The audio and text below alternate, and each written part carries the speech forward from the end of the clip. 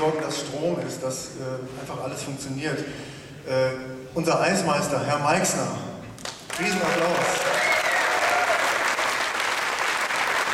Thomas von Welt, der dafür sorgt, dass überall Strom ist. Die Firma Jano, die komplette Wasserversorgung äh, unter Kontrolle hat. Außer jetzt die Sachen, die von Nestlé kommen, hier für die Hauptorganisation. Jano, Riesenapplaus. Unser Heimmeister, Stefan Nickel, der trotz gebrochenen, mehrfach gebrochenen Arm und Handgelenk hier äh, acht Stunden, ich darf jetzt nicht besser mehr als acht Stunden macht, sagen, er macht acht Stunden Schichten. Mit einem Arm nur. Also Doppelschichten.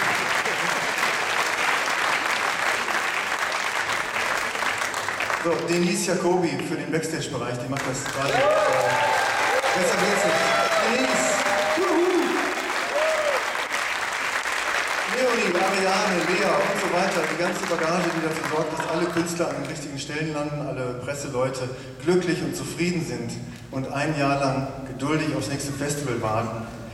Ähm, ja, Ansgar, der, ich glaube, 50, 60 Volunteers koordiniert in einer ähm, handgemalten Excel-Tabelle. Ansgar Grimmstein.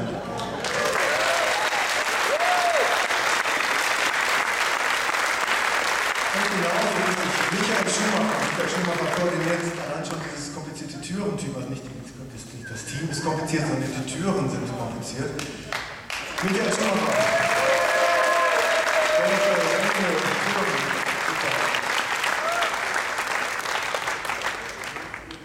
Ja, und die ganzen Volunteers einfach mal sowieso vielleicht, ähm, ihr Kids, ne? ihr seid erstmal die wichtigsten, habe ich euch jetzt viel zu spät drangenommen. Also unser Junior-Team, Volunteers, Riesenapplaus, extra Applaus.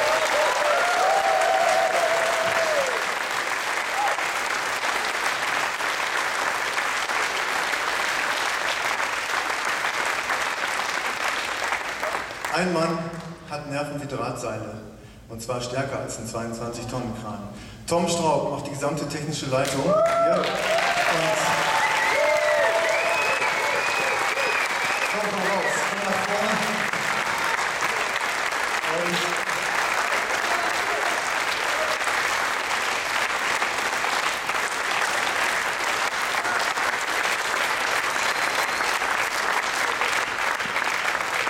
Ja, Rüdiger Eichholz hat ungefähr nochmal, ich glaube, so eine eigene Parallelwelt im, im Schlosspark geschaffen, mit äh, auch wiederum Volunteers und Institutionen und Kirchenkreisen und Jugendzentren und äh, ich weiß nicht was.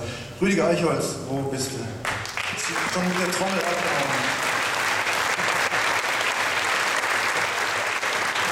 Niklas.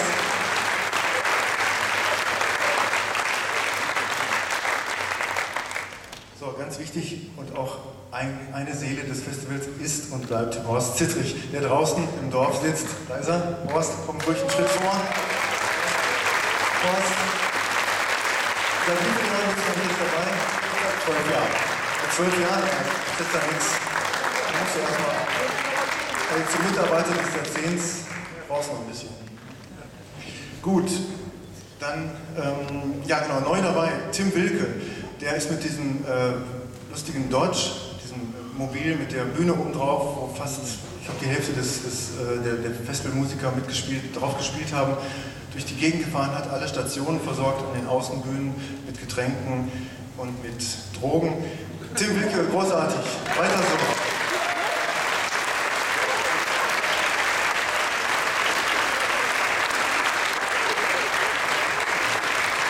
Dann die Koordination des Festivaldorfs draußen macht auch seit vielen Jahren Norbert Knamm mit Laura und seinem Team zusammen. Norbert, einmal winken, einmal zeigen.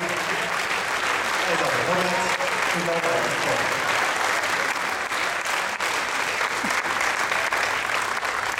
Ja, dann komme ich schon so ein bisschen zum ähm, inhaltlichen Ding. Das sind ja nicht alles meine Ideen. Ihr müsst jetzt da durch. Seid ihr schon ungeduldig teilweise? Jetzt ist es langweilig? Aber ich gucke so ein paar so Gesichter und na, Musik wäre besser. Ich mache ganz kurz, geht ja schnell. Derzeit läuft ganz unbemerkt so ein Soundcheck. Keiner kriegt das mit. Das ist halt total gut. Ich wäre äh, mit diesem Programm nicht an dieser Stelle, wenn ich nicht Leute hätte wie Jan Klare,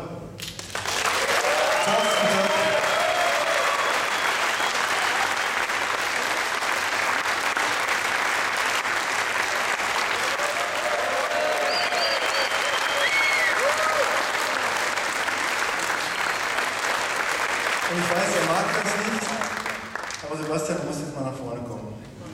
Bring ich euch ein Spezialagenten mit. Sebastian Schwenk. Ungefähr mindestens die Hälfte der Ideen dieses Programms sind von Sebastian Schwenk. Und er macht das ganz stickum immer hinten rum und verkauft mir so Sachen. Und dann denke ich halt, was ist das denn? Und dann merke ich halt, wie geil. Horse Lords, ähm, Entanglements, ähm, Richard Dawson, das sind Sebastians Ideen.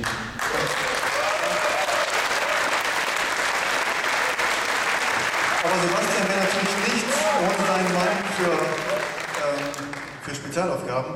Sebastian wäre nur die Hälfte, also du wärst ja auch im Prinzip, da steht, steckt eigentlich nichts hinter. Also, wenn der nicht der Oliver Ludler dahinter wäre. Wo ist er, Olli?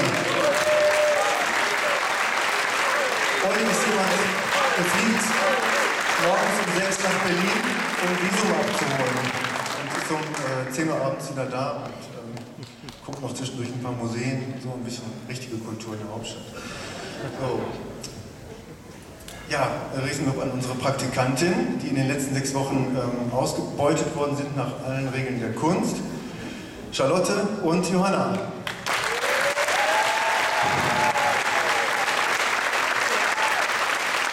Hat es euch ein bisschen Spaß gemacht? Ja, geht so. Southside, Hurricane und besser. Okay, ähm, so dann ähm, gibt es eine Riesencrew auch hinter der ähm, Halle, die dafür sorgt, dass die Bilder im Livestream und bei Art und so ankommen. Ähm, da sind eine Menge Leute im Ü-Wagen von Bildquadrat, Leute vom WDR, Leute von Arte. Riesenapplaus. Niklas Linde und Co. Und die beiden Jungs in Betonfabrik.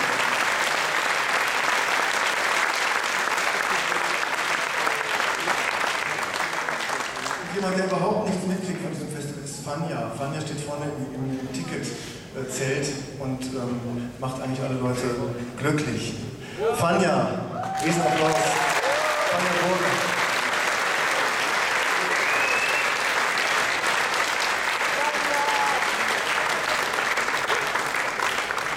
Ganz wichtig, die Leute, die nachher alles zählen und abrechnen. Was wären wir ohne Tobias Pawletko und Henrik Mühlmeier?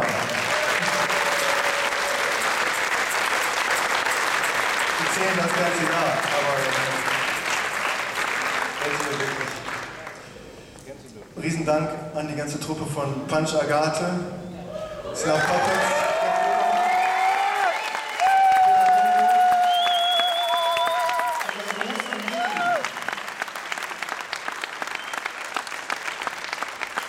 Dank Kerstin Eckstein, die, die, beson- die Spezialprojekte mitbegleitet hat, das Kongo-Projekt, das Sigi-Projekt. Diesen Applaus, Kerstin Eckstein.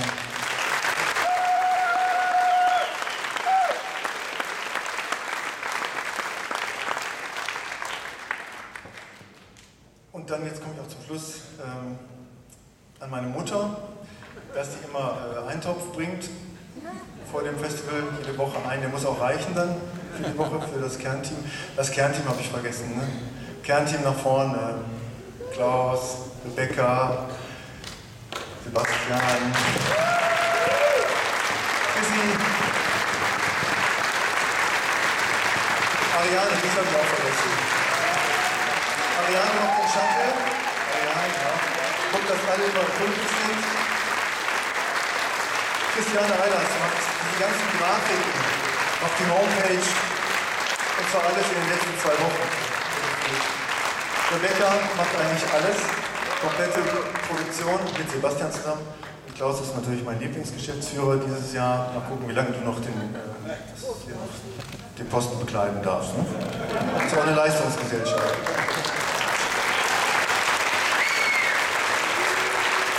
Danke an meinen Freund Jacques Palminger für die Entlastung bei der Moderation. Wunderbar. Danke, Jacques.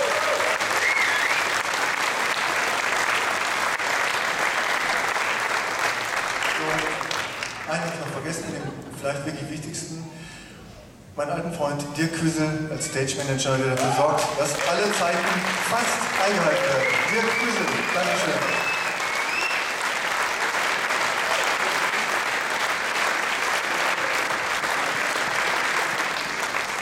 Ich kriege immer noch mehr zugerufen, aber das ziehen wir jetzt durch. Ähm, wir haben jetzt ein veganes Catering, das finde ich ziemlich gut.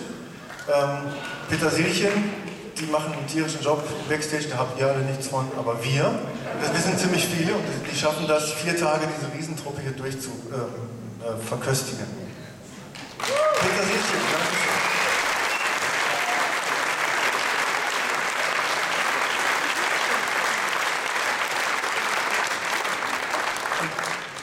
Einen Menschen möchte ich noch nennen, ähm, ja, der wirklich im letzten Jahr das äh, auch ganz ähm, eng im, Kernteam mit dabei war, dieses Jahr auch ähm, bis eben dabei war.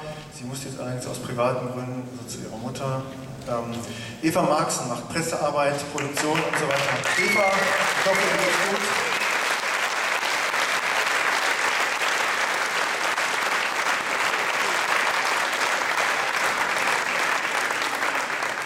So, und jetzt ähm, so lange geredet, ist schon 1972, ja, ist 19, exakt, habe ich so gut gemacht. 1972 war der ähm, Beginn dieses Festivals und wir singen jetzt mal ein Ständchen ähm, zusammen, also hier keiner geht weg. Und zwar Taliban, die dieses Jahr einfach Artist in äh, Resistance waren, ich glaube mit fünf Projekten, das fünfte kommt jetzt. Ähm, haben sich für den Festivalabschluss etwas Besonderes einfallen lassen, nämlich das äh, Taliban Big Impact Programm.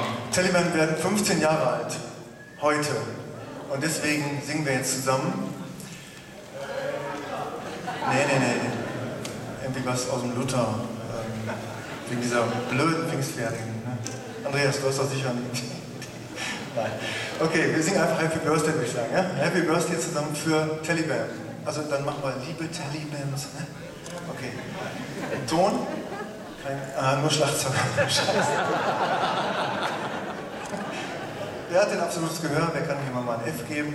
F ist mal ein Ton hat.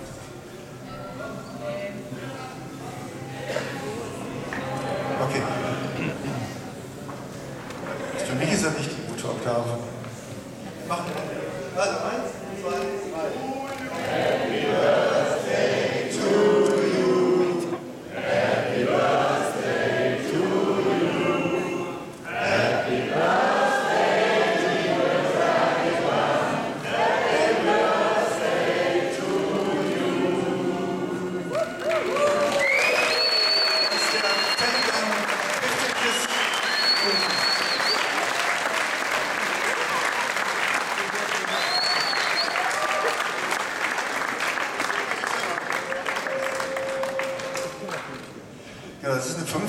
Wir haben eine Drone-Kamera, da wird das jetzt äh, deutlich. Genau, jetzt ist es richtig.